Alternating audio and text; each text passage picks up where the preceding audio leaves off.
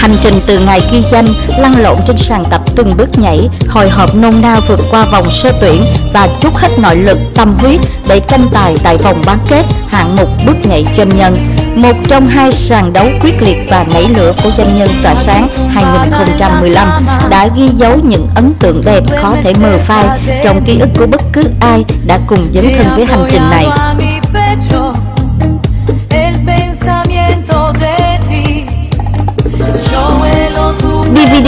DVD doanh nhân vòng bán kết đã chính thức ra mắt và được xem như một kỷ niệm tuyệt vời của 16 cặp đôi doanh nhân đã từng nỗ lực tỏa sáng với đam mê và tài năng khiêu vũ của mình.